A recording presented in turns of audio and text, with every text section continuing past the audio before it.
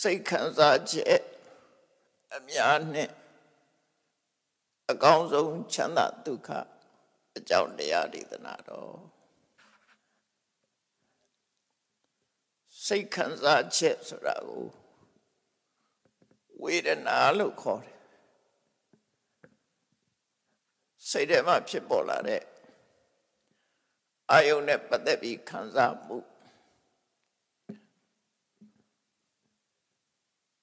ဝိဓမ္မာသဘောအရစိတ်ခံစားမှုဆိုတာဝေဒနာဝေဒနာဆိုတာယောဂကိုပြောတာမဟုတ်ဘူးစိတ်ခံစားမှုမှာအမျိုးမျိုးရှိတဲ့ထဲမှာရသော်ဗျာကစိတ်ခံစားမှုတွေကိုတမျိုးတည်းဟောတာမဟုတ်ပဲနဲ့အမျိုးမျိုးဟောထားတာဖြစ်တယ်အဲ့ဒါကိုဘဟုဝေဒနိယတုတ်ဆိုပြီး မေဇိယဗန္နတပါဠိမှာတုတ်တတုတ်ဖြစ်ဟောကြားထားတာရှိတယ်အဲ့ဒီတည်းမဲ့မတတ်ဖို့ရတော့အကောင်းဆုံးချမ်းသာချမ်းသာဒုက္ခချမ်းသာဒုက္ခကစိတ်ခံစားမှုနဲ့တင်ပတ်သက်တာမဟုတ်ဘဲနဲ့စိတ်ခံစားမှုလွတ်ကင်းတဲ့ဟာကိုလည်းပဲချမ်းသာဒုက္ခလို့ခေါ်တာရှိတယ်အဲဒါကြောင့်မို့ ဒီသုတ်တန်ကိုနားထောင်ပြီးတဲ့အခါမှာဝေဒနာမျိုးမျိုးနဲ့အကောင်းဆုံးချမ်းသာဒုက္ခသိရှိကြအမှာဖြစ်တယ်အဲ့တော့ဘုဝေရဏိယသုတ်တန်ရဲ့ဏိဒံလို့ပြောရမယ်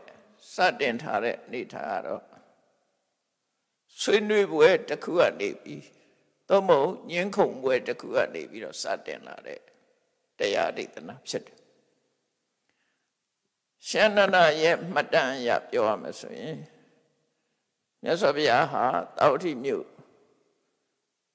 အနာရမင်းတထေဆောက်လို့လှူဒန်းတဲ့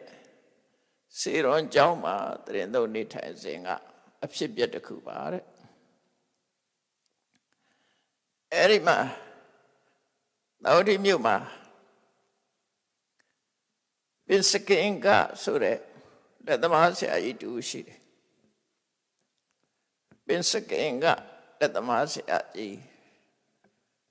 စာပေကျမ်းကမှာတော့အထက်ကရာမှာတော့ပင်စကင်ကဆိုတာသူ့နာမည်လို့ခေါ်တယ်လက်သမားတွေအသုံးပြုတဲ့လက်နဲ့ကလည်းပဲ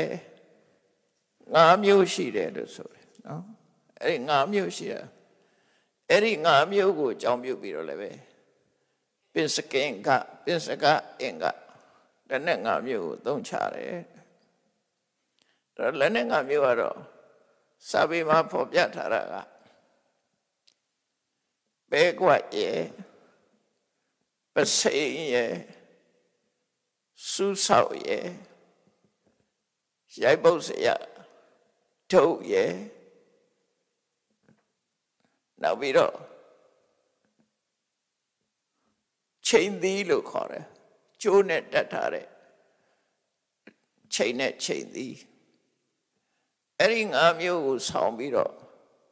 တေသားတွေခွဲစိတ်တဲ့ပုဂ္ဂိုလ်တေသားတွေဖြောင်းအောင်ခွဲစိတ်ပြီးတော့တေသားနဲ့ပတ်သက်တဲ့လုပ်ငန်းတွေလုပ်တဲ့ပုဂ္ဂိုလ်တွေကိုထပတိအစာအုပ်တွေတိဆောက်တဲ့ပုဂ္ဂိုလ်ထပတိလို့ခေါ်တယ်အဲ့တော့တမန်အပြင်ထပတိဆိုတာလက်သမားပေါ့ သူတို့လက်သမားဆရာကြီးလက်နဲ့ငါမျိုးကန်ဆွဲထားတဲ့လက်သမားဆရာကြီးလို့ဆိုလို့တယ်သူကလည်းတရားနဲ့ပတ်သက်ပြီးတော့ဝါသနာပါတယ်တတိတော့သူနဲ့ရှင်ဥဒ္ဒကြီးဆိုတဲ့ယဟန်နဲ့ဆုံတွေ့ကြတာဆုံတွေ့ပြီးရှင်ဥဒ္ဒကြီးကို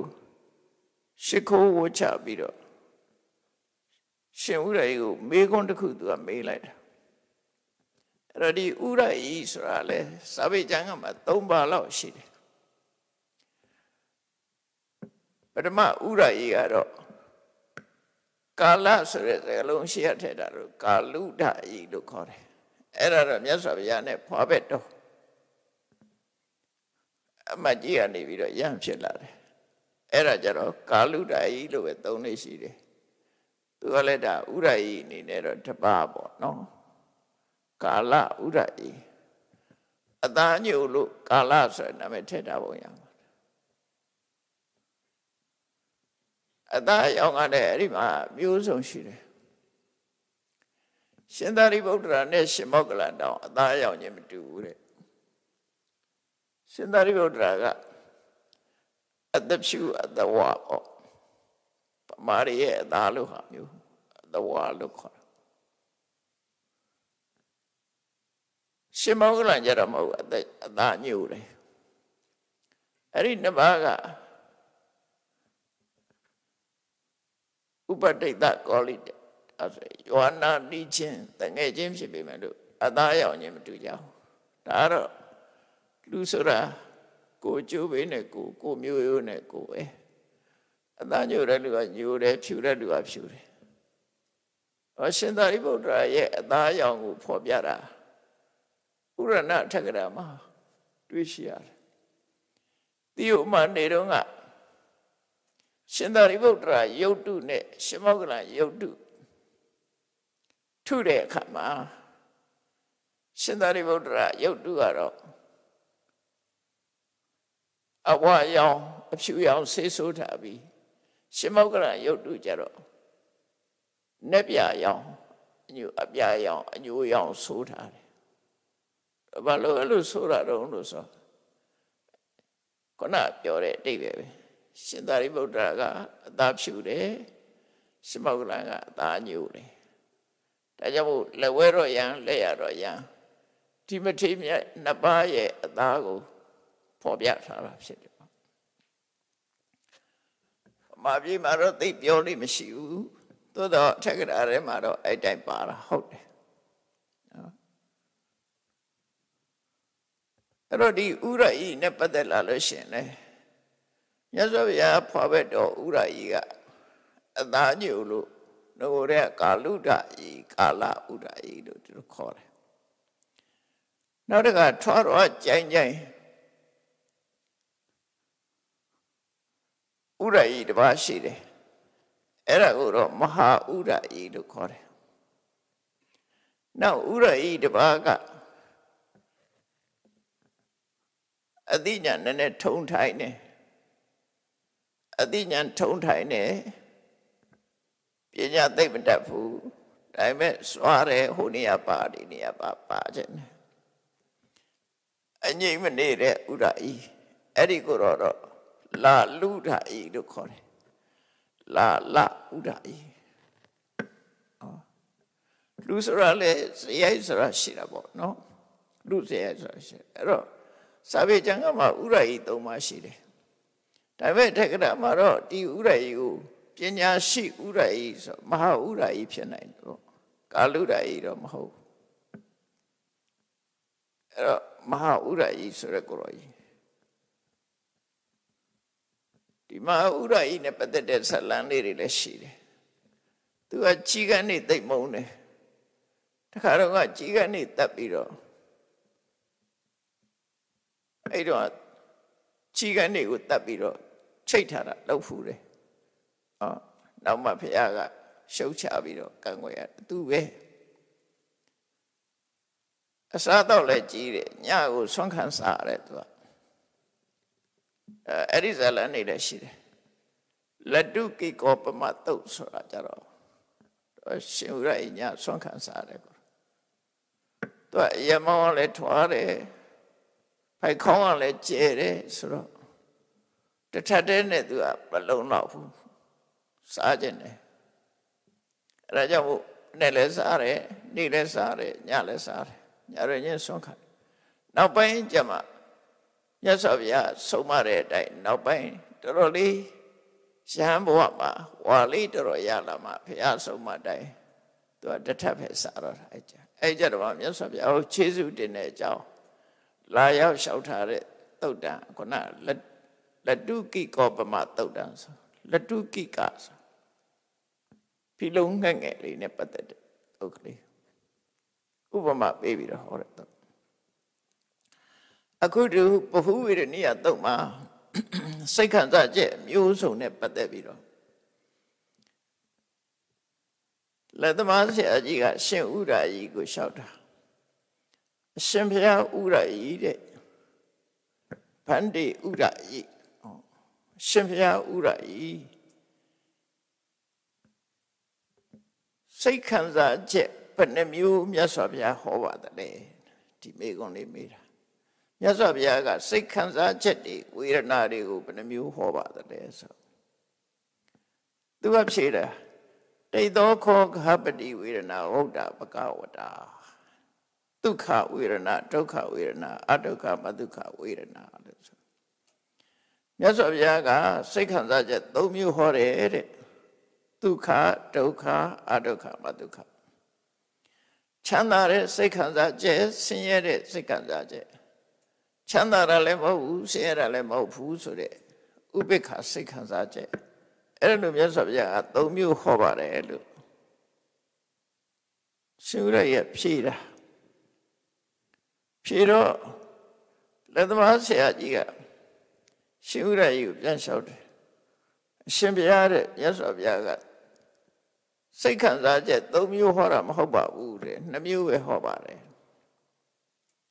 လက်သမားဆရာကြီးကသူကပြောတာ၂မျိုးပဲဟောတာပါတဲ့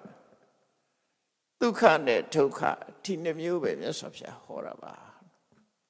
ဒုက္ခလည်းမဟုတ်ဒုက္ခလည်းမဟုတ်ဘူးဆိုတာမဟောပါဘူးဆိုပြီးလက်သမားဆရာကြီးကလို့ပြောအဲ့ဒီမှာသူတို့ညင်ပွားဟိုက၃မျိုးဒီက၃မျိုးမဟုတ်ဘူး၂မျိုးနှမျိုးမဟုတ်ဘူးသုံးမျိုးဘသူဘသူစကားမှ နားမထောင်ဆွညင်းနေကြနော်တယောက်နဲ့တယောက်ဆွညင်းနေကြနားလဲအောင်ပြောလို့မရဘူးဥရကြီးပြောတာလဲလက်သမားကလက်မခံဘူးလက်သမားဆရာကြီးပြောတာလဲဥရကြီးကလက်မခံ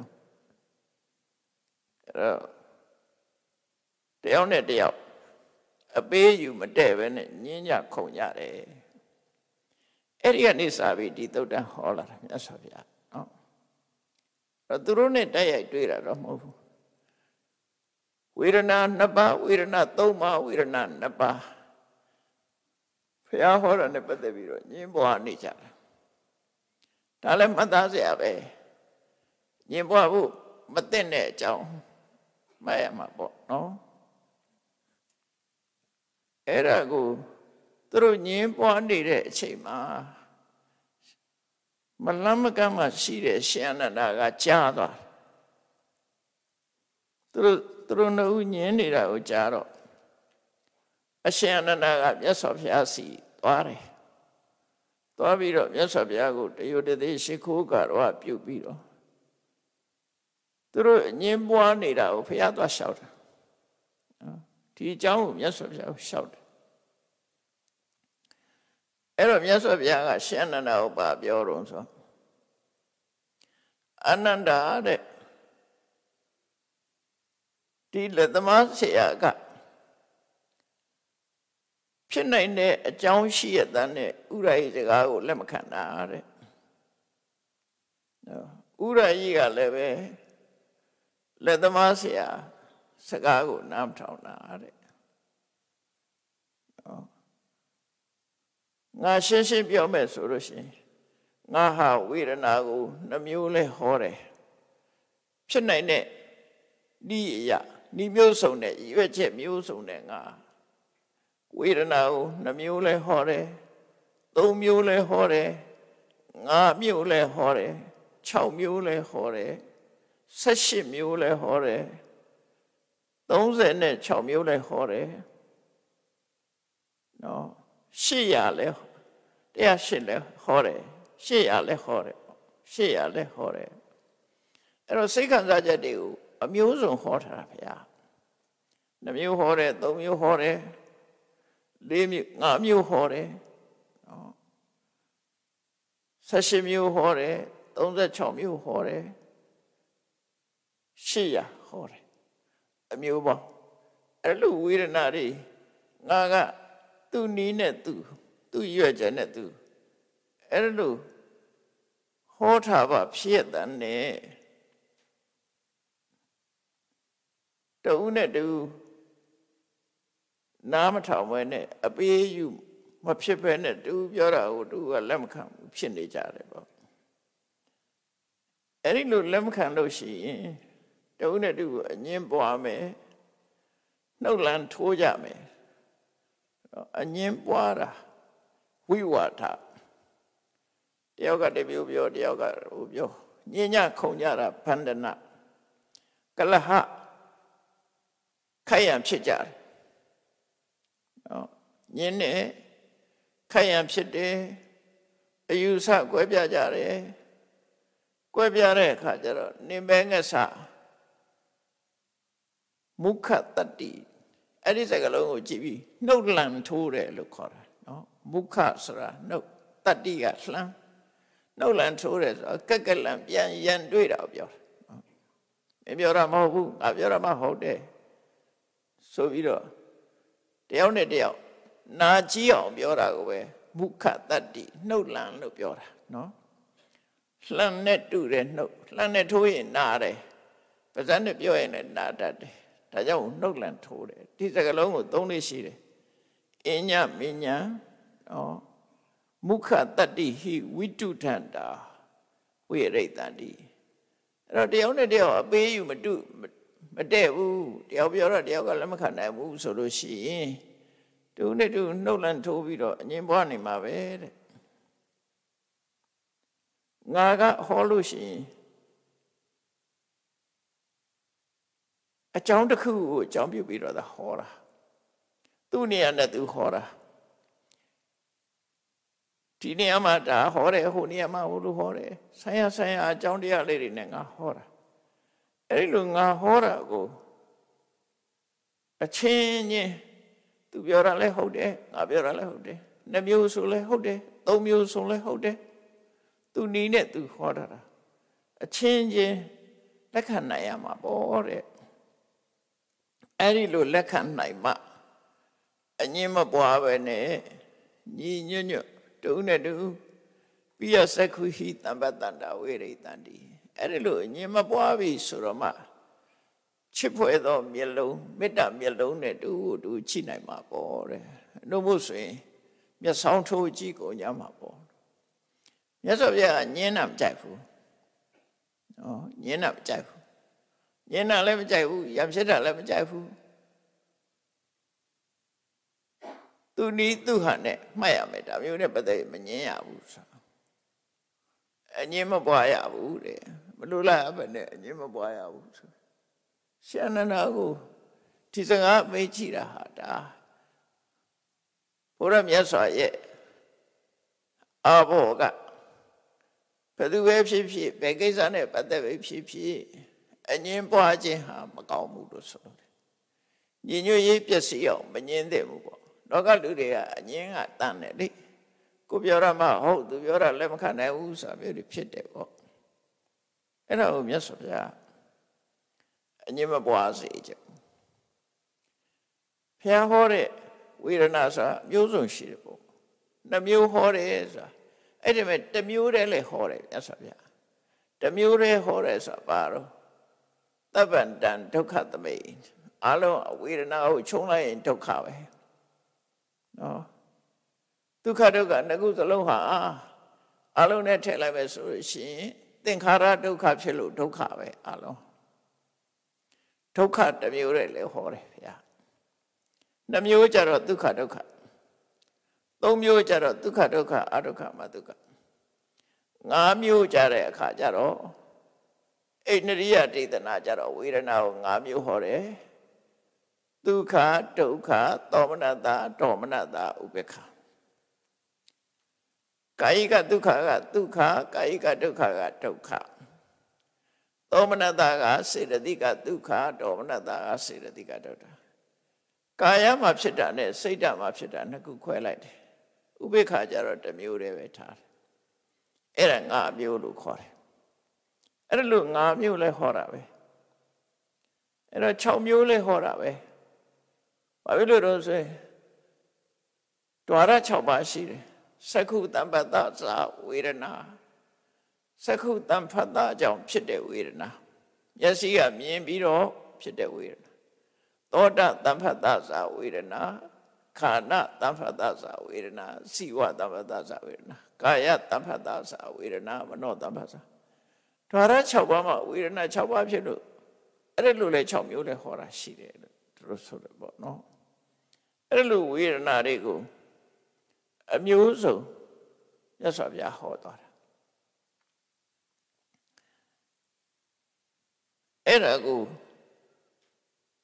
ငါဟောတာကိုသဘောပေါက်နားလည်ပြီဒီနေရာမှာတော့2မျိုးဟောတယ်ဒီနေရာမှာ3မျိုးဟောတယ်ဒီနေရာမှာ6မျိုးဟောတယ်36မျိုးဟောတယ်တရားဟောတယ်ဒါတယောက်နဲ့တယောက်နားလည်ပြီးတော့လက်ခံတဲ့ပေါ့ အဲ့တော့လက်မခံတာဟာမှားယွင်းတယ်ချင်းချင်းညှိနှိုင်းပြီးတော့လက်ခံတဲ့လက်ခံခြင်းရဲ့အကျိုးကဘာလို့ဆိုရင်တုံးနဲ့တူမေတ္တာမပြတ်ဖဲနဲ့နော်ညီညွတ်ညွတ်နဲ့အငြင်းမပွားပဲနဲ့စိတ်ချမ်းသာကိုယ်ချမ်းသာနေနိုင်တယ်အငြင်းပွားပြီဆိုရင်တူဘောတူမကျေနပ်မှုတွေနဲ့နှုတ်လန်းထုံးမှုတွေနဲ့ဖြစ်တတ်တယ်လို့ရှင်နနာကိုဒီလိုမိတ်ပြီးတော့မြတ်စွာဘုရားဟာ ချမ်းသာဒုက္ခဒုက္ခဝေဒနာနဲ့ပတ်သက်ပြီးတော့အများဆုံးဟောတယ်ရှင်းပြတယ်ဒုက္ခဝေဒနာနဲ့ပတ်သက်ပြီးဘာဖြစ်လို့ဒါကဒုက္ခဝေဒနာတစ်မျိုးတည်းကိုရှင်းလို့ဆိုတော့ဒုက္ခဆိုတာတော့အများကြီးမရှိဘူးနော်ဒုက္ခကစာပေကျမ်းကမှာဒုက္ခဝေဒနာလို့ဟောတဲ့အခါမှာဒုက္ခ၃မျိုးမှတ်ထားတဲ့နော်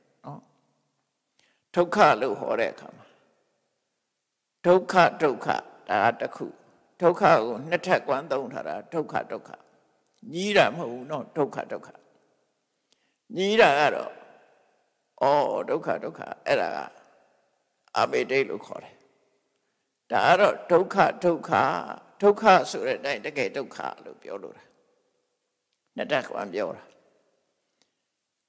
နောက်ပြီးတော့ဝိပရိနာမဒုက္ခ ပြောင်းလဲသွားတဲ့ဒုက္ခနောက်ဆုံးတစ်ခုကသင်္ခါရဒုက္ခလို့အဲ့သုံးမျိုးကခွဲလေးရှိတယ်အဲ့ဒါလေးကိုသတိထားနံပါတ်1ကဒုက္ခဒုက္ခနံပါတ်2ကဝိပရိနာမဒုက္ခဝိပရိနာမဒါကြီးနဲ့ပြောင်းလဲသွားတဲ့ဒုက္ခသင်္ခါရဒုက္ခအဲ့ဒါဒုက္ခဒုက္ခဆိုတာဘယ်ဟာခေါ်တာတော့ဆိုရင် တကယ်ခန္ဓာကိုယ်ပေါ်မှာနာကျင်ကြိုက်ခဲတဲ့ကာယကဒုက္ခဒါတခုစိတ်ဆင်းရဲတဲ့ဒုက္ခကနှစ်ခုဒေါသမှုတွေးဆိုတာဒေါသနဲ့ရှင်တဲ့စိတ်ကနှစ်ခုရှိတယ်။ဩအဲ့ဒီမှာဒုက္ခဒုက္ခဆိုဒီမှာကာယကဒုက္ခရဲ့အဲ့ဒါကိုအပြီးတော့မှကျတော့ဒုက္ခသဟကုကာဝိညာဉ်စိတ်ကာယကဒုက္ခ ဒါတခုစေတသိကဒုက္ခကြတော့နှစ်ခုရှိတယ်ဒေါသမှုတွေဒေါမနတလို့လည်းခေါ်တယ်အဲ့ဒါကနှစ်ခုပေါင်းလိုက်တော့၃ခုအဲ့ဒီ၃ခုကကိုဆင်းရဲမှုစိတ်ဆင်းရဲမှုအဲ့ဒီ၃ခုဟာဒုက္ခဆိုတဲ့အတိုင်းတကယ်ကိုလူသိများတဲ့ဒုက္ခ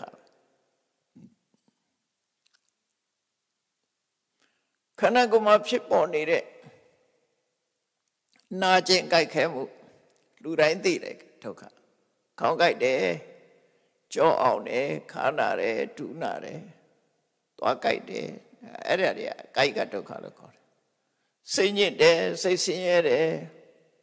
လောကကြီးမှာမပြောဘူးဝမ်းနေတယ်ဆိုတာအဲ့ဒါစေတသိကဒုက္ခအဲ့ဒီဒုက္ခတွေကိုလူတိုင်းကသိတယ် သိတာထင်ရှားတဲ့ဒုက္ခအဲ့ဒါကိုဒုက္ခဒုက္ခလို့ပြောတာနော်ဒုက္ခဒုက္ခသည်သုံးခုရှိတယ်ဒုက္ခဆိုတဲ့အတိုင်းတကယ်ဆင်းရဲတာတွေအဲ့ဒါတွေနောက်ဝိပရိနာမဒုက္ခဆိုပြောင်းလဲသွားလို့ဖြစ်ရတဲ့ဒုက္ခအဲ့ဒါဘာကိုခေါ်တာတော့ဆိုဒုက္ခနဲ့သောမနတကိုခေါ်တာဒုက္ခဝေဒနာကကာယကဒုက္ခသည်ဒုက္ခဝေဒနာ နော်စေရတိကဒုက္ခသည်သောမနတအဘိဓမ္မာနဲ့ပြောမယ်ဆိုရင်သောမနတတာကုစိတ်62ခုနဲ့ဒုက္ခဒုက္ခတော့ကာဝဉ္ဇစိတ်တစ်ခုအလုံး63ခုဟာဒုက္ခသည်သူကသူနေရင်ဒုက္ခဒုက္ခနဲ့သောမနတာသည်သူကသူနေရင်ဒုက္ခအဲ့ဒီဒုက္ခသည်ပြောင်းလဲသွားတာနဲ့တပြိုင်နက်ဒုက္ခလို့ဆိုလို့တယ်နော် ဒုက္ခဝေဒနာဆိုဒီတိုင်းမနေဘူးလေပြောင်းလဲဖြစ်သွားတာဒုက္ခဝေဒနာကုံဆုံးလိုက်တာနဲ့ဒုက္ခဖြစ်သွားတယ်အဲ့ဒါကြတော့ဒုက္ခဒုက္ခဝေဒဝိပရိနာမဒုက္ခဆိုတာဘယ်သူခေါ်တာတော့ဒုက္ခနဲ့သောမနတာကိုခေါ်တယ်လို့အကျဉ်းချုပ်မှတ်တာဒုက္ခဝေဒနာနဲ့ဝေဒနာ၅ပါးနဲ့ပြောမယ်ဆိုရင်ဒုက္ခဝေဒနာနဲ့သောမနတဝေဒနာကိုဝိပရိနာမဒုက္ခလို့ခေါ်တယ်သင်္ခါရဒုက္ခဆိုတော့ ဝေဒနာထဲမှာရှိတဲ့ဥပိ္ပခဝေဒနာသူဒီမမြဲသည့်အတွက်ကြောင့်ဒုက္ခတွေထည့်သွင်းထားတယ်။နောက်ကြံတဲ့ကြံတဲ့စိတ်စိရတိတ်တွေအလုံးခုနကဒုက္ခဒုက္ခလည်းမပါဘူးဒုက္ခသောမနတလည်းလည်းမပါဘူးဆိုတဲ့စိတ်စေရသိတ်တွေဥပေက္ခဝေဒနာနဲ့ကြံတဲ့စိတ်စေရသိတ်ရုပ်တရားသင်္ခါရဒုက္ခလို့ခေါ်တယ်။ ဘာကြောင့်သင်္ခါရဒုက္ခလို့ခေါ်တော့ဆိုရင်မမြဲလို့ဖြစ်ပြီးရင်ပြတ်တဲ့ဟာတွေမို့သင်္ခါရတွေကနေမလွတ်လို့သူတို့သင်္ခါရဒုက္ခသူကတော့ကျဲတယ်။အဲ့လိုမှတ်ရမယ်နော်။အဲ့လိုမှတ်ဝေဒနာနဲ့တင်ပြောမယ်ဆိုလို့ရှိရင်ဒုက္ခဒုက္ခဆိုတာတကယ်ဒုက္ခဒုက္ခဒေါနတကိုခေါ်တယ်အဲ ဝိပရိနာမဒုက္ခဆိုတာဒုက္ခနဲ့ဒေါနတကိုခေါ်တယ်သင်္ခါရဒုက္ခဆိုတာဥပိ္ပခဝေဒနာကိုခေါ်တယ်လို့ဝေဒနာကြည့်ပြောရင်အဲ့လိုပြောနော်အဲ့လိုဆိုလို့ရပေါ့အဲ့ဒါဒုက္ခလို့နာမည်တက်ထားတဲ့တရား၃မျိုးအဲ့တော့မြတ်စွာဘုရားကတခါတည်းရန်ဒုက္ခလို့ပဲပြောလိုက်တယ်တခါတည်းရန်ဒုက္ခဒုက္ခနှစ်ခုပြောတယ် တခါတည်းကသုံးခုပြောတယ်အဲ့ဒါသူ့နေရာနဲ့သူသူ့အကြောင်းနဲ့သူဟောထားတာဖြစ်လို့နားလဲရမယ်သဘောပေါက်ရမယ်လက်ခံနိုင်ရမယ်အဲ့လိုဆိုလို့တယ်အဲ့လိုမြတ်စွာဘုရားက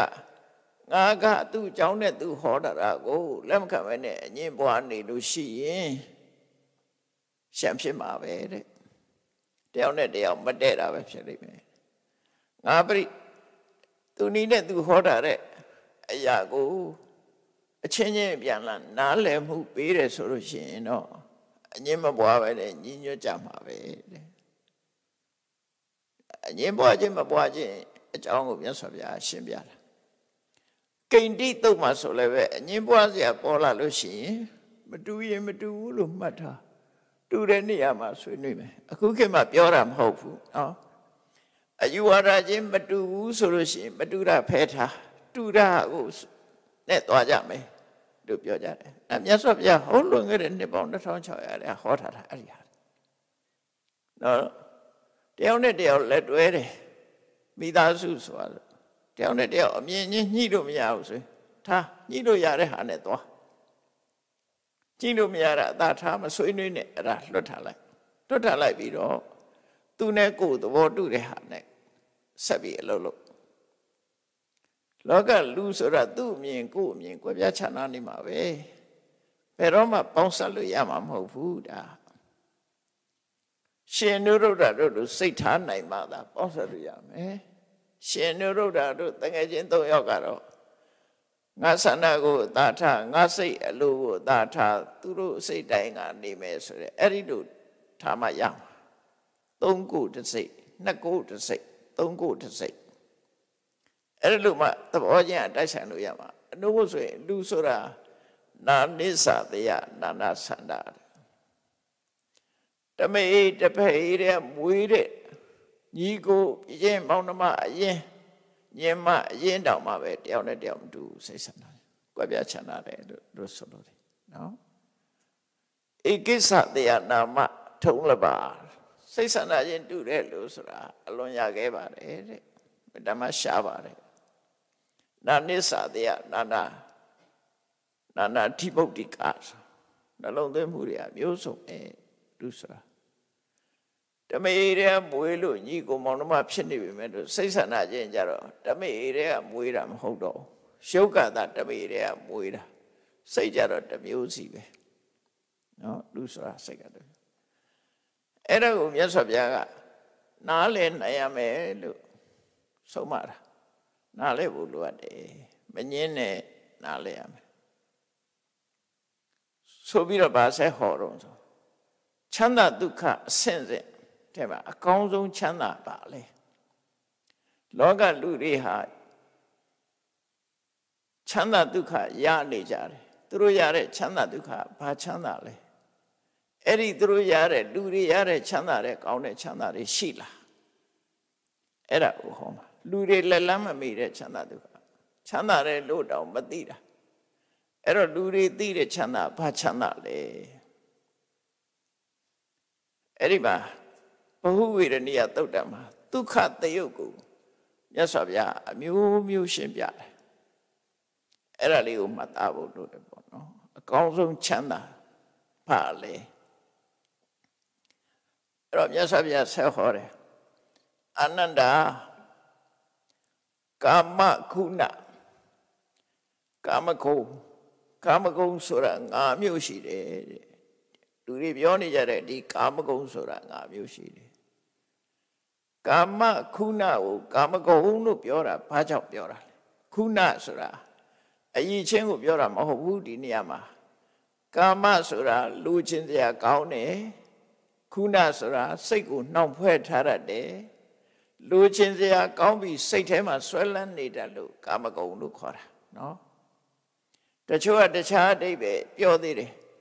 ကာမဂုဏ်ဆိုတာကာမဂုဏ်နဲ့မကာရင်မကုန်ဘူးလို့ပြောတဲ့သူဟာရှိသေးတယ်အဲ့ဒါဒီအဓိပ္ပာယ်ကိုပြောတာမဟုတ်ဘူးနော်ချမ်းဖန်ပြောတဲ့အဓိပ္ပာယ်ပဲပြောခြင်းနဲ့ဆိုလိုခြင်းနဲ့ဒီစကားလုံးရဲ့အဓိပ္ပာယ်ကကာမဂုဏ်ကာမဂုဏ်ဆိုတာကာမခုနအာရာ ကာမဆိုတာလူချင်းစရာအာယုန်တွေကိုခေါ်တာလူချင်းစရာအာယုန်ဆိုတာနာမည်တက်လိုက်ရင်အများကြီးပေါ့စူပါမားကတ်သွားကြည့်လိုက်အများကြီးပဲဟွာလေးလည်းလိုချင်ဒါလေးလည်းလိုချင်အဲ့တော့နာမည်တွေမတတ်တော့ဘူးမျက်စိကမြင်တဲ့အဆင်းနှစ်သက်စရာအာယုနားကကြားရတဲ့နှစ်သက်စရာအာယုနှာခေါင်းကနမ်းရှူရတဲ့နှစ်သက်စရာအနံ့အာယု လျှာနဲ့ရတာခံရတဲ့ရတာအာယုနှစ်သက်စရာရတာအာယုခန္ဓာကိုယ်နဲ့ထိတွေ့ရတဲ့နှစ်သက်စရာအထိတွေ့အာယုအဲ့ဒါကိုကာမလို့ခေါ်တာ sensual pleasure လို့ပြန် sensual pleasure ကြိုက်တဲ့လူတွေကအဲ့ဒီလိုချင်စရာလိုချင်စရာအာယု၅ပါးသည်ခုနစိတ်ထဲမှာဆွဲပြီးတော့စိတ်နဲ့ နှောက်ဖွဲ့ထားတတ်တယ်လူတာရောစဉ်အနှောက်ဖွဲ့လို့ပဲခုနဆိုတာအနှောက်ဖွဲ့အနှောက်ဖွဲ့စိတ်ထဲမှာနှောက်ဖွဲ့ထားတတ်တယ်ဒါကြောင့်မလို့ကာမကုဏကာမဂုဏ်လို့ခေါ်တယ်အဲ့တော့ကာမဂုဏ်ဆိုတာ၅မျိုးရှိတယ်ဆိုပြီးတော့မြတ်စွာဘုရားဘယ်၅မျိုးတုံးလို့ဆိုပြောတော့သက္ခုဝိညေယရူပအိဋ္ဌကန္တာမနာပါပိယရူပကာမုပတန်ဟိတာရဇနိယတဲ့ ဒါဘုရားဖွင့်ပြတဲ့အဓိပ္ပာယ်နော်သက္ခုဝိညေယရူပသက္ခုဝိညေယမြင်သိစိတ်ဖြင့်သိရတဲ့အိဋ္ဌလူချင်းစရာကောင်းတယ်ကန္တနှစ်သက်စရာကောင်းတယ်မနာပစိတ်ကြိုက်ဖြစ်တယ်ပိယရူပချစ်ဖွယ်ရသဘောရှိတယ်ကာမုပသဟိတနော်နှစ်သက်မြတ်နိုးမှုနဲ့ပတ်သက်တယ် ရဇနိယဆွဲမဲ့စရာကောင်းတယ်ဆိုတဲ့ရူပါအစင်အာယုန်ဒီပါတဲ့ဒါဒီတိုင်းပဲဟောတာပဲနေရပဲဖြစ်ဖြစ်နော်ဒီအစင်အာယုန်တွေကမြင်သိစိတ်နဲ့ပဲသိလို့ရတယ်သို့မဟုတ်စက္ခုဒွါရမှာဖြစ်တဲ့စိတ်တွေနဲ့သိလို့ရတယ်မြင်သိစိတ်ကတော့အစဆုံးမို့သူကိုပြောလိုက်တာစက္ခုဝိညာယစက္ခုဝိညာဉ်စိတ်ဖြင့်သိရတယ်စက္ခုဝိညာဉ်စိတ်ဆိုတာ ဥပလက္ခဏာနဲ့ပြောတာသိတာဇောနဲ့ကြမှာသိတာဖြစ်လို့စက္ခုဒွါရ၌ဖြစ်တဲ့ဝိသိစိတ်နဲ့သိရတယ်လို့ဆိုလို့အမြင်အာယုံကမျက်စိမှာဖြစ်တဲ့စကုဒ္ဒရာမှာဖြစ်တဲ့စိတ်တွေနဲ့သာသိနိုင်တယ်လို့သူတို့ဆိုလိုတယ်နော်စကုဒ္ဒရာမှာဖြစ်တဲ့စိတ်တွေနဲ့သာသိနိုင်တယ်ဒါတခုသောတဝိညာယတတ္တာ အတန်ဆိုတဲ့အာယုံကြတော့ကြာတိစိတ်နဲ့သာသိနိုင်တယ်ခန္ဓာဝိညာဉ်ရခန္ဓာအနတ်ဆိုတာကြတော့ခန္ဓာဝိညာဉ်စိတ်နဲ့သာသိနိုင်တယ်စီဝဝိညာဉ်ရရတာအရသာဆိုတာစီဝဝိညာဉ်စိတ်နဲ့သာသိနိုင်တယ်ကာယဝိညာဏဖွတ်တတ်ပါထိတွေ့ဆိုတာကာယဝိညာဉ်စိတ်နဲ့သာသိနိုင်တယ်သူနေရာနဲ့ပါသူသိလို့ရတယ်ဟော သူနေရာနဲ့ပဲသူသိလို့ရတယ်သို့တော့လူတွေခံစားပြီးလူတွေရဲ့စိတ်ထဲကိုဆွဲလန်းအောင်ဖွဲ့နှောင်ထားတတ်တဲ့တရားအာယုံကဒီ၅ပါးပဲဒါတဲ့အာယုံကဒီ၅ပါးပဲအဲ့ဒါကာမဂုဏ်၅ပါးဆိုတာအဲ့ဒါခေါ်ရတယ်အဲ့ဒီကာမဂုဏ်၅ပါးနဲ့ပတ်သက်ပြီးတော့ဖြစ်ပေါ်လာတဲ့ကိုချမ်းသာမှုစိတ်ချမ်းသာမှုဒုက္ခသောမနတာ အဲ့ဒါကိုကာမဒုက္ခလို့ခေါ်တယ်။ဩကာမဒုက္ခဆိုတာကာမအာယုန်နဲ့ပတ်သက်တဲ့ချမ်းသာဝေချမ်းသာဒုက္ခအဲ့တော့လူတွေရနေတာဒီချမ်းသာဒုက္ခပဲရတယ်။လူတွေအတွေ့အကြုံကဒါပဲဒုက္ခလို့သတ်မှတ်တာ။ပြောလိုက်တာဆိုတာပဲနော်။ဘာလို့ပြောတာတော့ပုံစားရလို့နော်ပြောဝဲစားထွက်ပြီးတော့ စားလို့ကိုယ်အဒီယာကြည့်ရလို့လူတွေကပြောတယ်ပြောတယ်ပြောတယ်အဲ့ဒါပဲမျက်စိအာယုံနားအာယုံကာကြခုံညပြောကြပါကြအဲ့ဒါတွေအလုံးဟာကာမဒုက္ခတွေကြီးပဲပြောစရာအာယုံကြောင့်ရရှိလာတဲ့စိတ်ချမ်းသာမှုလို့သူတို့ဆိုလို့တယ်နော်ကာမဂုဏ်၅ပါးကိုအာယုံဆွဲပြီးတော့ ဖြစ်ပေါ်လာတဲ့ချမ်းသာမှုဝမ်းသာမှုကိုကာမဒုက္ခလို့ခေါ်တယ်ဒါလူတိုင်းလူတိုင်းတွေ့ကြုံခံစားရတဲ့ဒုက္ခပဲမခံစားဘူးတဲ့လူရှိမှာမဟုတ်ဘူးလူတွေတွေမကဘူးခွေးတွေလည်းပြောနေကြတာပဲလေအကောင်မလောင်နေလည်းပြောကြတာပဲသူတို့ရတဲ့ချမ်းသာဒုက္ခလည်းကာမဒုက္ခပဲတိရစ္ဆာန်တွေတကောင်တကောင်ရကြတယ်ကာမဒုက္ခ တော့ကာမဒုက္ခလူတွေရင်ခံစားလို့ရတာမဟုတ်တိရစ္ဆာန်တွေလည်းခံစားနေကြတရားတွေအများများအများဆုံးကဒီကာမဒုက္ခပဲခံစားကြရတာများတယ်အဲ့ဒါကိုပဲအကောင်းဆုံးလို့ထင်တာဒါကြောင့်မို့တပည့်ဆက်ကြတရားဟောတဲ့အခါမှာအဲ့ဒီကာမဒုက္ခကိုချမ်းသာချမ်းသာလို့အဲ့ဒီချမ်းသာကိုခံစားဖို့မင်းတို့မကြိုးစားနဲ့ကာမေတုကာမဒုက္ခလိကနုယောကောဆိုတာ ဘာဖြစ်လို့တော့ဟီနောအတန်းကြတယ်ခမောအရထက်လူတွေခံစားတဲ့ချမ်းသာမျိုးဖြစ်တယ်ဘောထုဇဏိကောအများစုကြိုက်တဲ့အာယုံဖြစ်တယ်အနာရိယောမြင့်မြတ်မှုကိုဖြစ်စေဘူးအနတ္တသံဟိတောကောင်းကျိုးချမ်းသာမပေးဘူးအဓိကတော့အဲ့ဒါပါပဲအနတ္ထသံဟိတာ ပျော်ရွှင်ချမ်းမြေ့ပြီးတဲ့အခါမှာကောင်းကျိုးချမ်းသာရလာမှာမဟုတ်ဘူးလို့ဆိုလို့တယ်နော်ဒါပေမဲ့အဲ့ဒါကိုပဲပြောနေကြတာလောကလူတွေကပထမဆုံးသူတို့ရတဲ့ချမ်းသာသည်ကာမဒုက္ခပဲလူတိုင်းလူတိုင်းရရှိနေတဲ့ချမ်းသာသည်ကာမဒုက္ခအဲ့ဒီမှာမြတ်စွာဘုရားဆက်ပြီးတော့ရှင်းပြတယ်အနန္တာတဲ့မသိနာမလဲတဲ့ပုဂ္ဂိုလ်တွေကဘာပြောတော့ဆို ဧတပရမန်တတ္တဒုက္ခံသောမနတံပဋိတံဝေဒေတိလောကလူတွေဟာကာမချမ်းသာကိုသာလည်းအကောင်းဆုံးလုပ်ပြီးတော့ဩကာမချမ်းသာဟာအကောင်းဆုံးချမ်းသာပဲလို့ပြောမယ်ဆိုရင်သူ့စကားကိုငါလက်မခံဘူးလက်မခံနိုင်ဘူးတဲ့ခွင့်မပြုဘူးသူ့ပြစကားကိုမှန်တယ်လို့ငါလက်မခံဘာဖြစ်လို့တော့ဆိုတော့ အဲ့ဒီချမ်းသာတဲ့ပိုကောင်းတဲ့ချမ်းသာရှိနေသေးတယ်ကာမဒုက္ခအကောင်းဆုံးချမ်းသာလို့ပြောကြတယ်အဲ့ဒါငါလက်မခံဘာဖြစ်လို့တော့ဆိုရင်အဲ့ဒီချမ်းသာတဲ့ပို့ပြီးတော့ကောင်းတဲ့ချမ်းသာရှိသေးတယ်ဘာချမ်းသာလဲဆိုတော့မြတ်စွာဘုရားချမ်းသာတစ်ခုချင်းတစ်ခုချင်းထုတ်တာအဲ့ဒီကာမဂုဏ်အာယုန်တွေကိုပယ်ခွာလိုက်တဲ့အခါမှာကာမဂုဏ်အာယုန်စိတ်တွေလည်းကင်းတယ် အကုသိုလ်စိတ်တွေလည်းကင်းပြီးတော့ဝိဝေကဆံပိတိဒုက္ခကာမဂုဏ်အာယုန်စိတ်တွေကင်းခြင်းကြောင့်ရရှိလာတဲ့နှစ်သက်မှုကျင့်နှံ့မှုဆိုတဲ့ပထမဇန်ချမ်းသာဟာကာမချမ်းသာတဲ့ပူချမ်းသာတယ်ကာမချမ်းသာဆိုတာခံစားမှများလာရင်မောဟိုက်လာညင်းငွေ့လာတာပထမဇန်ချမ်းသာဆိုတာက ဘယ်နှခါခံစားခံစားဘယ်တော့မှညင်ငွေတာမရှိဘူးလူတွေဟာ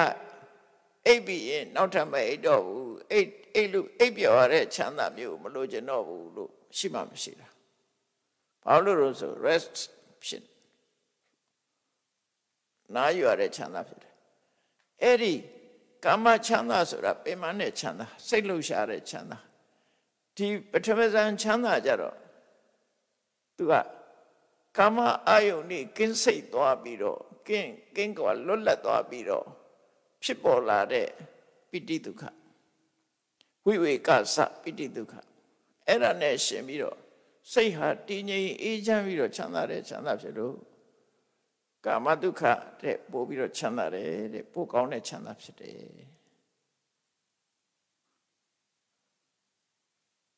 အဲ့ဒီမှာလည်းပဲ ပထမဇန်ချမ်းသာရတဲ့ပုဂ္ဂိုလ်ကနေပြီးတော့အေးလောကမှာဒီပထမဇန်ချမ်းသာဟာအကောင်းဆုံးပဲလို့ပြောရင်ငါလက်မခံဘူး။ဘာဖြစ်လို့လဲအဲ့တဲ့ကောင်းတဲ့ချမ်းသာရှိသေးတယ်။နော်အဲ့တဲ့ကောင်းတဲ့ချမ်းသာရှိသေးတယ်။အဲ့တဲ့ကောင်းတဲ့ချမ်းသာကဘာတုံလို့ဆိုလို့ရှိရင်ခေါနာပထမဇန်မှာပါတဲ့အတွေးတွေစိတ်ကူးတွေ ဝိတက်ဝိสารတွေကိုတွေးတော့ဆင်ញင်စိတ်ကူးနေတာတွေကိုဖယ်ပလိုက်တဲ့အခါမှာပိဋိဒုက္ခဧကကတာဆိုရယ်ပိဋိလေးနဲ့ဒုက္ခလေးနဲ့ဧကကတာလေးနဲ့ဒီသုံးမျိုးလေးစိတ်ကလေးတည်ငြိမ်ပြီးတော့ပိဋိလေးဖြစ်နေတဲ့ဒုတိယဇန်ချမ်းသာကပထမဇန်နဲ့ပို့ပြီးတော့ကောင်းတယ်ပထမဇန်က အာယုန်နဲ့စိတ်နဲ့တွေ့ဆုံနေအောင်လှုပ်ရှားမှုလေးတွေရှိတယ်စိတ်ကူးကြံစည်နေတဲ့ဝိတဝိสารရဲ့တွန်းအားတွေရှိတယ်ဒုတိယဆံရတဲ့အခါအဲ့ဒီအနောက်ရှက်တွေကင်းပြီးတော့တည်ငြိမ်သွားတယ်ဘာနဲ့တူတော့ဆိုရင်နော်လေတိုင်းလို့လှိုင်းကြရက်ကလေးတွေထနေတယ်ရေပြင်းလို့ပဲပထမဇန်ချမ်းသာကကြရက်ကလေးတွေထနေဒုတိယဇန်ကျကြတော့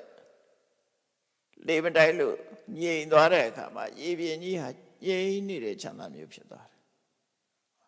ပိဋိနဲ့ပဲနေတာဖြစ်တယ်အဲ့ချမ်းသာကပထမဇန်ချမ်းသာတဲ့ပူချမ်းသာတယ်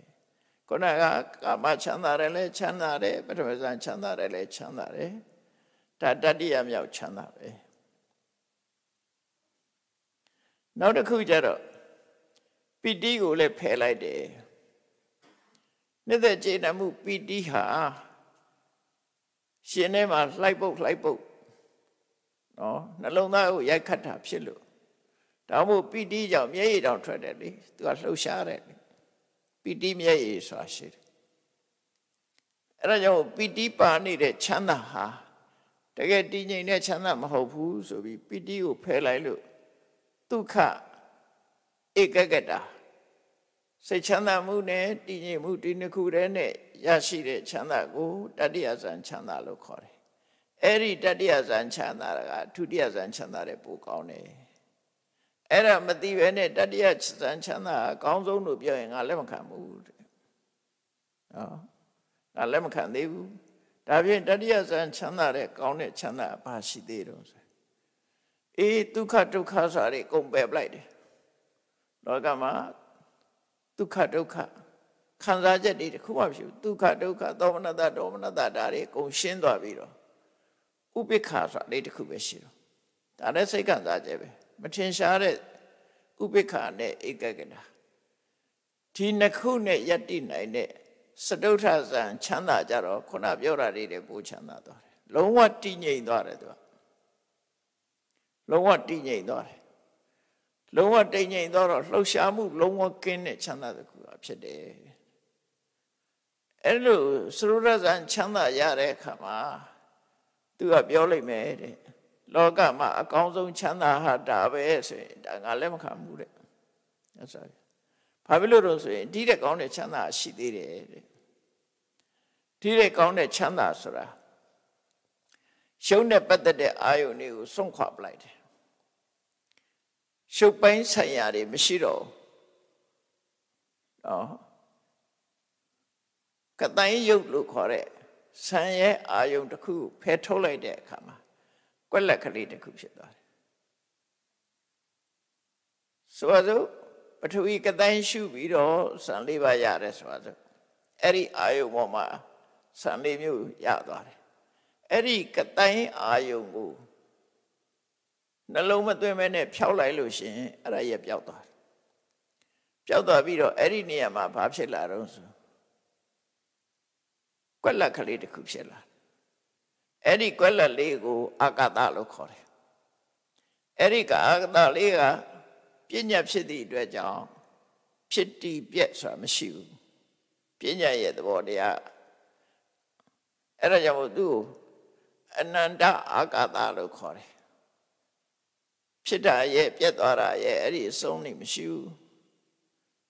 သူ့ကိုအင်္ဂလိပ်လိုတော့ infinite infinite space လို့ခေါ်နော်အဆုံးအပိုင်းအခြားအကန့်အသတ်မရှိတဲ့ space ကွက်လက်ကလေးအဲ့ဒီကွက်လက်ကလေးကိုအာယုံပြုပြီးတော့ဖြစ်နေတဲ့အာကာသနင်းစာရဏဇံလို့ခေါ်တဲ့ အာကာသကိုမိပြုပြီးတော့အာယုံပြုပြီးတော့ဖြစ်တဲ့ဇန်စိတ်ကခုနကသရုဒ္ဒဇန်ချမ်းသာတယ်ပူချမ်းသာသွားတယ်တဲ့လှုပ်ရှားမှုလုံးဝမရှိဘူးလုံးဝတည်ငြိမ်သွားတယ်လူဟာသရုဒ္ဒဇန်အဆင့်ရောက်ရင်တော့မှပဲအသက်မရှူတော့ငြိမ်သွားပုံကတော့အသက်မရှူတော့အသက်မရှူလို့သေမှလားဆိုမသိဘူးသိမွေ့သွားတာလုံးဝအောက်ဆီဂျင်ပဲအရမတော့နဲ့တွေးမနေနဲ့နော် အောက်ဆီဂျင်နဲ့ပဲအသက်ရှင်တယ်လို့ထင်နေတဲ့သူကတွေးကောင်းတွေးလိမ့်မယ်ပေါ့အောက်ဆီဂျင်နဲ့ကောင်းတဲ့အသက်ရှင်စေကရထားပြီလေအဲကြောင့်ရှိနေပြီသူကအဲ့တော့အာဂတနိစရဏဆံဆိုတာကခုနသုရဇံချမ်းသာတယ်ပို့ပြီးတော့ချမ်းသာတယ်အဲ့ချမ်းသာကိုလည်းပဲဒါအကောင်းဆုံးချမ်းသာလို့ပြောမယ်ဆိုရင်ငါလက်မခံသေးဘူးတဲ့ဖေ။သူရဲ့ချမ်းသာတာရှိသေးတယ် အဲ့ဒီအာကာသကို ရှုပြီးတော့ရတဲ့ဇန်တဲ့အဲ့ဒီအာကာသကိုရှုတဲ့စိတ်ကိုပြန်ရှုပြီးတော့ရတဲ့ဇန်ကပိုကောင်းတယ်။ဘာကြတော့ဆိုရင်အာကာသဆိုတာယုံနဲ့ပတ်သက်နေသေးတယ်။အော်ရှုံးတဲ့လုံးဝမပတ်သက်ဖ ೇನೆ စိတ်ကိုရှုလိုက်တာစိတ်ဆိုတာအကောင့်ထဲမှာမရှိတာနော်အကောင့်ထဲမှာမရှိတဲ့အာယုပေါ်မှာယက်တည်နိုင်တယ်ဆိုတာနေတဲ့စွမ်းရည်မှာမဟုတ်တာ အဲ့ဒီဇံကြတော့ဒုတိယအရုပဇံလို့ခေါ်တယ်အဲ့ဒုတိယအရုပဇံကဘာတော့ဆိုလို့ရှိရင်နော်ဝိညာဉ်နိစ္စရဏဇံအာဂတနိစ္စရဏဇံကိုလွန်မြောက်ပြီးတော့ဝိညာဉ်နိစ္စရဏဇံရသွားတယ်ဝိညာဏအနန္တ space ကိုအာယုပြုပြီးတော့ဖြစ်လာတဲ့ဒုတိယအရုပစိတ်နဲ့ရှင်တဲ့ဇံက ပို့ပြီးတော့ချမ်းသာတယ်ပို့ပြီးတော့တည်ငြိမ်သွားတယ်နန္တရားကိုရှုပြီးတော့ရတဲ့ချမ်းသာအဲ့ဒီချမ်းသာကအကောင်းဆုံးပါလို့ပြောပြရင်လည်းငါလက်မခံသေးဘူးတဲ့အဲ့တဲ့ကောင်းတဲ့ချမ်းသာရှိသေးတယ်နော်စံချမ်းသာတွေအဆင့်နဲ့အဲ့တဲ့ကောင်းတဲ့ချမ်းသာအဲ့ဒီဝိညာဉ်နိစ္စရဏစိတ်အလုံးဝမရှိတော့တဲ့အနေအထားမျိုးရောက်သွားတယ် ဖြောက်လိုက်တဲ့အခါမှာစိတ်တောင်မရှိတော့မရှိတာကိုရှုပြီးယက်တည်တယ်ဆိုတာဘလောက်ချမ်းသာမလဲစဉ်းစားကြည့်ပေါ့မရှိတာမရှိတဲ့အာယုံပေါ်မှာယက်တည်တာအဲ့ဒီစိတ်လေးကိုဖြောက်လိုက်လို့မရှိတဲ့အာယုံနတ္ထိဘာဝပညာလို့ခေါ်တယ်အဲ့ဒီပညာအာယုံလေးကိုအမိပြုပြီးတော့ဖြစ်ပေါ်လာတဲ့အာကိဉ္စဉ္ညာရဏဇံကသူ့တဲ့ကိုချမ်းသာတယ်ဒါအရုဝဆန်နေပေါ့ ဒါအကြမ်းမြင့်မဲ့နားလဲလို့ရမှာပဲနော်ကိုလည်းရတာလည်းမဟုတ်စာပေရပြပြရတဲ့လူကမှသိမှာဒါအကိဉ္စညာယတနာဆန်ချမ်းသာအလုံးကိုချမ်းသာတယ်အဲ့ဆန်ချမ်းသာကိုဘယ်သူရသွားတော့လို့ဆိုရင်အာလာရကာလမယတိကြီးရသွားတယ်နော်အာလာရကာလမယတိကြီးမြတ်စွာဘုရား အလောင်းတောထွက်လာတဲ့အခါမှာသူစီသွားနိခံပြီးတော့ဘုရားလောင်းလည်းရတယ်ဒီစားအဲ့ဆရာကြီးလည်းရတယ်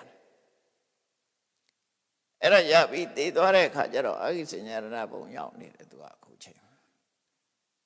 ရှုံးမဲ့တတ္တဝနန်းနဲ့နန်းကြီးပဲဖြစ်နေတယ်ဒီအသိစိတ်လေးနဲ့ယက်တည်နေတဲ့ဘဝပေါ့နော်အဲ့တော့ဒီ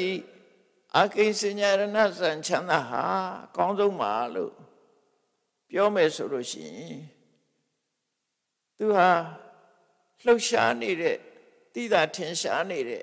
နန္တရားတွေရဲ့လှုပ်ရှားမှုတွေရှိနေတယ်နန္တရားတွေရဲ့ဖြစ်မှုတွေရှိနေသေးတယ်ဒါကြောင့်မို့လို့အဲ့ဒါကိုထပ်ပြီးတော့သမထကိုချစ်စဉ်တမာရီကိုတိုးမြှင့်လိုက်တဲ့အခါမှာ စိတ်စေတသိက်တွေမရှိသလောက်တိမ်မွေ့သွားတယ်နော်အသိစိတ်တောင်ရှုပ်ဆိုတာအသာထားအသိစိတ်တောင်ပျောက်သွားလောက်အောင်တိမ်မွေ့သွားတဲ့နေဝတိညာနာတိညာနေဝတိညာဆိုတာအမှတ်တိညာလည်းမရှိတော့ဘူးနာတိညာလုံးဝမရှိတာတော့မဟုတ်ဘူးတကွက်ချန်ထားတယ်နော်မရှိဘူးနည်းနည်းတော့ရှိတယ်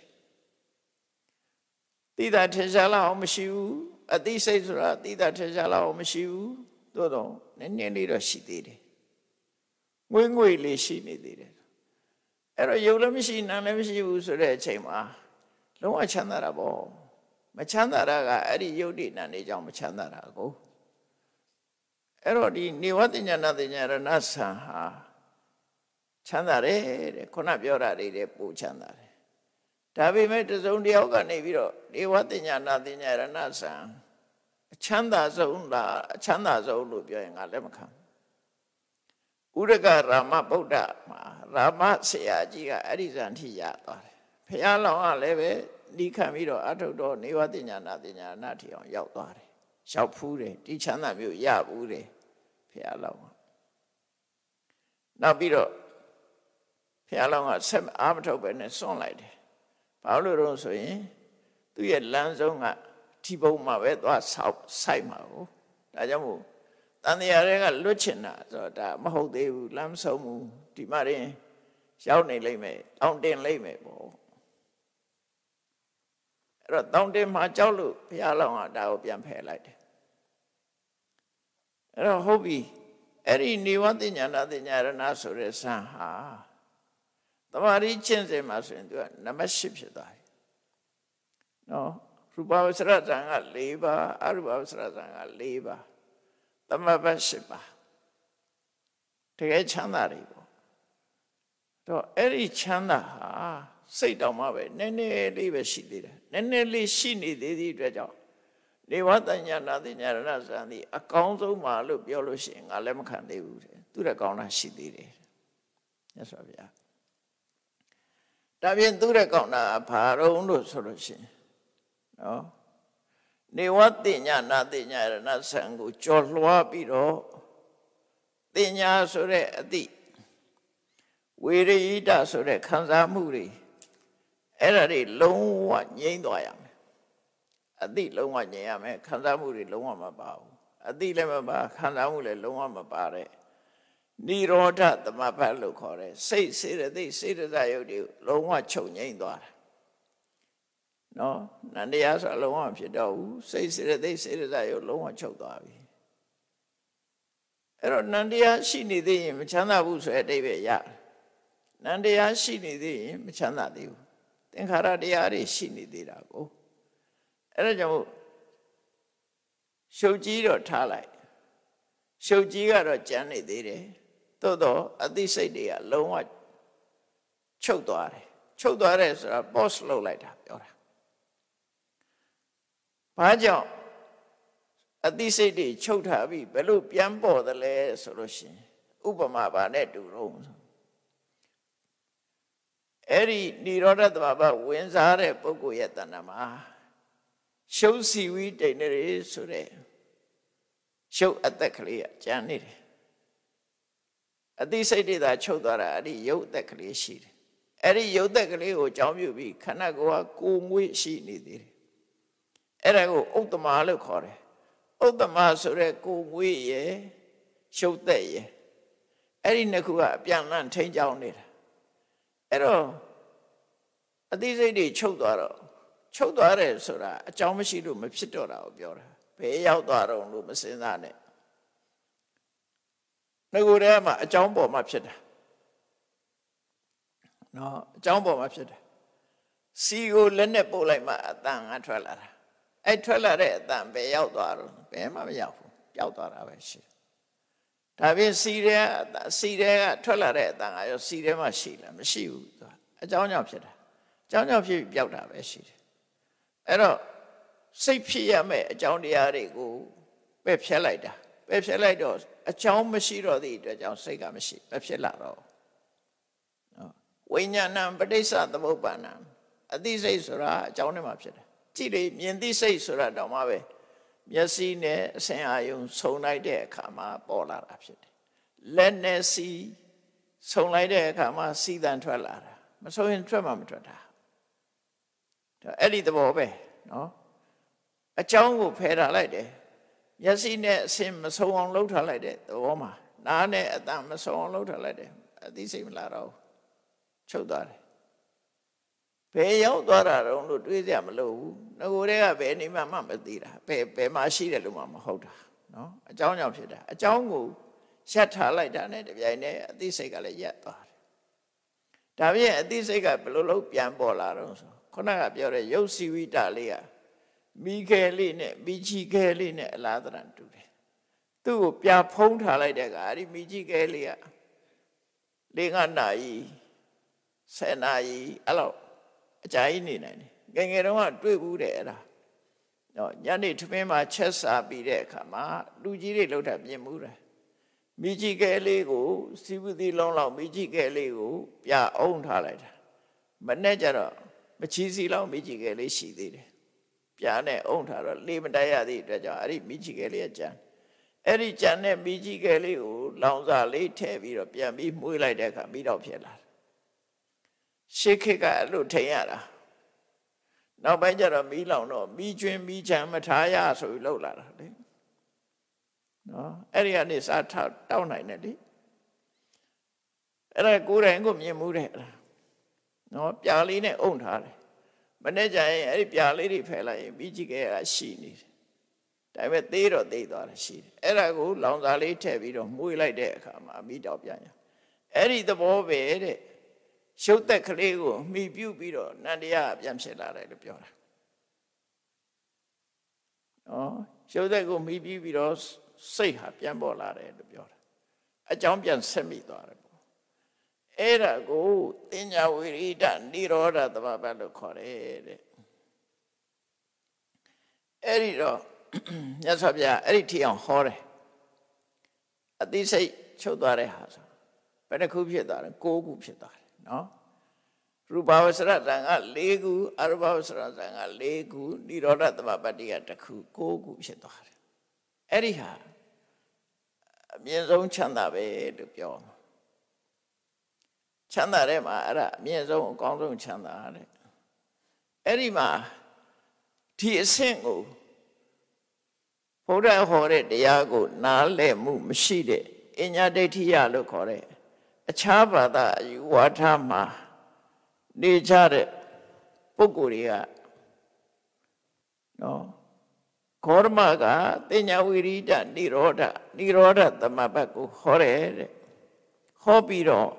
အဲ့ဒီនិရောဓသမဘတ်ကိုချမ်းသာဆုံးလို့ပြောတယ်တဲ့အဲ့ဒီမှာသူတို့ကမေခွန်းထုတ်ကြတယ်တယိတံကိန်တုတယိတံကထံတုဘယ်လိုလဲဘာမှမရှိတော့တဲ့စိတ်စိတ်စေရသိစေရတာယုတ်ဒီချုပ်သွားတဲ့ဒီនិရောဓသမဘတ်ကိုရဟန်းဂေါရမဒုက္ခလို့သတ်မှတ်တယ်ဘယ်လိုလဲပါလဲဟော ပြောလို့ရဟန်းဂေါရမပြောတဲ့စကားဘာလဲပဲလဲပေါ့သူတို့နားမလဲဘူးပေါ့ဘာလဲပဲလဲမိခွန်းနေထုတ်လာကြတယ်အဲ့ဒီလိုမိခွန်းထုတ်လာတဲ့အညဒိဋ္ဌိယပြပိုက်တွေကိုဒီလိုပြောတဲ့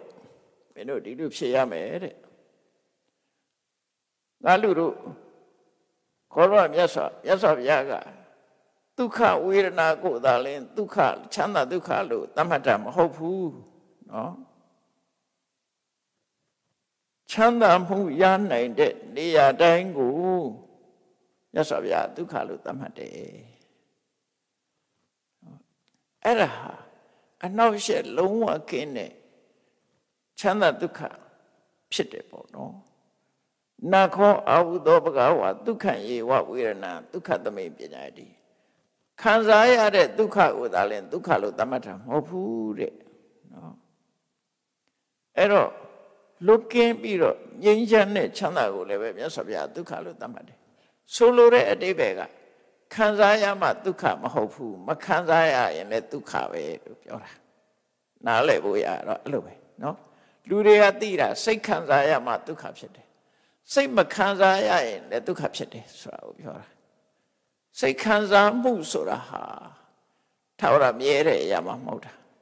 အဲ့တော့ပြောရမှာဝေရိဒဒုက္ခအဝေရိဒဒုက္ခစိတ်ခံစားမှုနဲ့ပတ်သက်တဲ့ဒုက္ခတစ်ခုစိတ်ခံစားမှုနဲ့မပတ်သက်တဲ့ဒုက္ခတစ်ခုလို့အဲ့တော့စိတ်ခံစားမှုမပါတဲ့ချမ်းသာကိုလည်းပဲမြတ်စွာဘုရားချမ်းသာလို့ဟောတယ်ဒါကြောင့်မို့နိဗ္ဗာန်ပရမန်ဒုက္ခ နိဗ္ဗာန်စီအကောင်းဆုံးချမ်းသာလို့ဆိုတာနိဗ္ဗာန်ဘာမှမမရှိဘဲနဲ့ခံစားမှုဝေဒနာမရှိဘဲနဲ့ဘယ်လိုချမ်းသာတော့ခန္ဓာတိဥရယီဆိုတဲ့ကိုရောကရှင်သာရိပုတ္တရာကိုမေးခွန်းထုတ်တယ်ရှင်သာရိပုတ္တရာကတရားဟောတဲ့အခါမှာဒုက္ခမိဒံအောသောနိဗ္ဗာန်ငါရှင်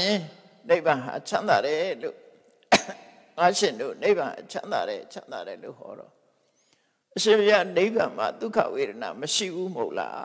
ဘာလို့ချမ်းသာတယ်လို့ပြောနိုင်တာတော့ဆိုအဲ့ဒီဒုက္ခဝေဒနာမရှိလို့ကိုချမ်းသာတယ်လို့ပြောတာရှင်သာရိပုတ္တရာအဲ့လိုပြန်ဖြေတယ်ဒုက္ခဝေဒနာရှိနေသေးရင်ဆင်းရဲလာမှာလေဆင်းရဲကလုံးဝလွတ်ကင်းသွားတာအဲ့ဒါမရှိမှအဲ့ဒါကြောင့်မို့ဒါကလူတွေနားလည်ဖို့ခက်တဲ့ဒုက္ခလို့ခေါ်တယ်ဒါကိုပဲတန်တိဒုက္ခ နော်သင်္ခါရတွေငြိမ့်သွားတဲ့ဒုက္ခတန်တိဒုက္ခလို့ခေါ်တယ်အဲ့ဒီဒုက္ခမျိုးဟာစိတ်ခံစားမှုရှိတဲ့ဒုက္ခတဲ့စားလိုက်ရင် तू ကပို့ပြီးတော့ချမ်းသာတယ်လို့ပြောအနှောက်အယှက်ကင်းတဲ့ချမ်းသာဖြစ်တယ်အဲ့ဒီလိုမြတ်စွာဘုရားကရှန္ဒနာကိုရှင်းပြတော့ရှန္ဒနာကမြတ်စွာဘုရားဟောတာကိုဝါမြောက်ဝန္တာတာလို့ခေါ်တယ်ဒါကဘဟုဝေရဏိယတုတ်တံမှာမြတ်စွာဘုရားဟောတဲ့စကားရတိပဲဖြစ်တယ် တရားချက်ကင်သူတော်တဲ့ပြိဿပေါင်းတို့ဒုက္ခချမ်းသာဆိုတာဟာအစင်စစ်ရှိတဲ့အကြောင်းအကောင်းဆုံးချမ်းသာဒုက္ခသည်အဝိရိဒဒုက္ခဘာမှမခံစားရတဲ့ချမ်းသာကပိုချမ်းသာတယ်ခံစားနေရတဲ့ချမ်းသာတွေမှန်သမျှဘယ်ဟာမှမမြဲဘူးအလုံးတော့ဒုက္ခရောက်ဒုက္ခတွေနဲ့ရောရှက်နေတယ်လို့ဆိုတာကိုမှတ်သားနာယူပြီးတော့အကောင်းဆုံးချမ်းသာရအောင် ကြိုးစားအထောက်နိုင်ကြပါစေကုန်သတည်း